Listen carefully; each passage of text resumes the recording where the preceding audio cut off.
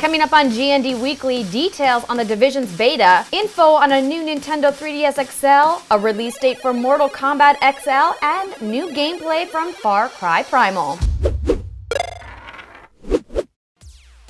Hey everyone, and welcome back to Gamer Next Door Weekly. I'm your host, Andrea Rene, rounding up the gaming news for you for today, Friday, January 22nd. So let's get started. First up is news from Ubisoft's forthcoming action open world RPG shooter hybrid mashup thing that is Tom Clancy's The Division. If you're not familiar, the game centers around groups of tactical sleeper agents in New York City. Trained in emergency response, your unit is activated after a pandemic dubbed Black Friday sweeps through the city, leaving society in chaos. So basically, classic Tom Clancy. Xbox One owners will get the chance to play the game's beta first, starting January 28th. PlayStation 4 and PC players will be able to start just one day later on the 29th. The beta will feature some story missions and time in the Dark Zone, which is a multiplayer area featuring player versus player action where you'll go head to head against other tactical units to earn new gear for your character. You might want to give yourself yourself some time to preload the beta though, it's a big file. According to Reddit user Leggett213, the PC download is over 26 gigabytes. You guys can start preloading 48 hours before the beta launches according to the game's Facebook page. So how do I get beta access, you were wondering? Well, I'll tell you. You need to pre-order the game for your platform of choice. Now, if you guys want to learn more, you can check out gameplay from Mike's recent press event right here. And don't forget, Tom Clancy's The Division launches on March 8th.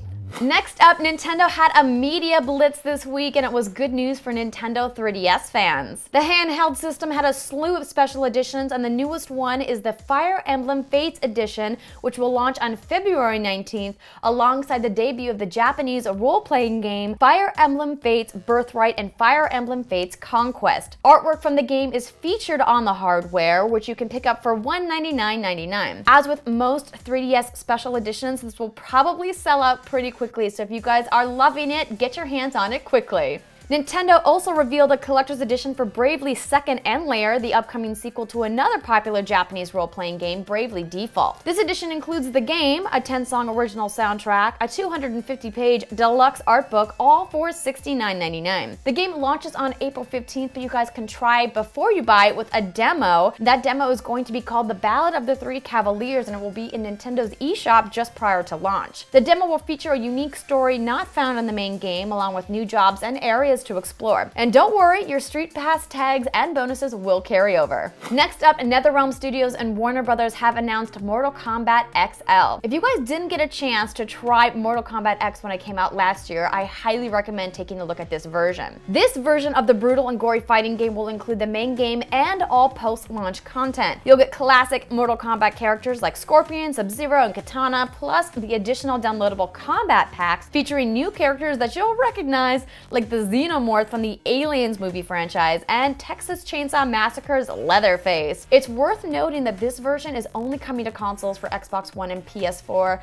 Sorry PC players, but if you do want to get your hands on it, it's coming out March 1st. Lastly, we've got a new trailer for Far Cry Primal. The fifth installment in the Far Cry series is set in the Stone Age this time around, and players will take on the role of Takkar, a member of the Wenja tribe. As Takkar, you'll not only face off against a variety of beasts like saber-toothed tigers, woolly mammoths, and more, but you'll go head-to-head -head with other warrior tribes like the cannibal Udam tribe and the fire-worshipping Izila tribe. Now, I know what you're thinking, but Andrea, it's 10,000 BC. There are are no guns, and Far Cry is all about the guns.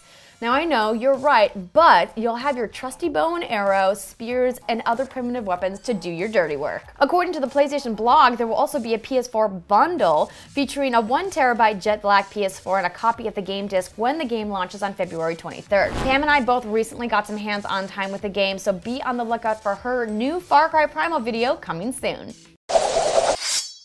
And last week I told you guys about the tweet of the week segment where I'm going to be featuring some content that I find on Twitter and I couldn't not feature this awesome photo from at the hashtaginist. It features me as Femshep and Pam as Bayonetta. It is so awesome. I've always wanted to cosplay as Femshep. I just don't know how to make armor. It's kind of a custom job, you know what I'm saying? So if you guys have anything that you would like to share, be sure to tweet to me at Andrea Rene using the hashtag GNDWeekly and maybe you could be featured on the show.